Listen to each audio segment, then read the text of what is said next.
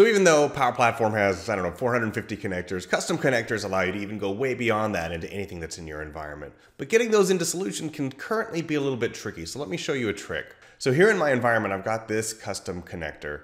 And I want, uh, I also want to have this custom connector managed in my solution because of course I'm using solutions for all my application lifecycle management.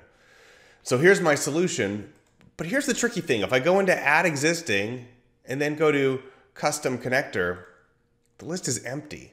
Now this is being worked on, but for now there's a workaround you can use. And so the workaround is to, let's go into my custom connector here.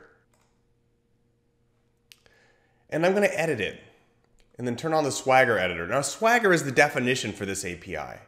And so I'm just going to copy everything in here. And then back in my solution, instead of you adding existing, I'm going to create a new custom connector. And then on this side, I'll just go into the Swagger editor, delete everything that's there, and just paste in what I took from my other connector. And then turning off the Swagger editor, I can walk through the rest of the builder. It should all be configured matching what's in my working custom connector outside of a solution. And I'll just call this GSA connector in solution and then we're ready to create it and test it.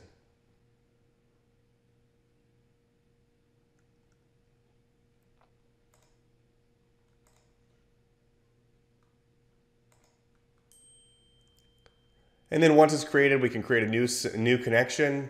This one uses an API key.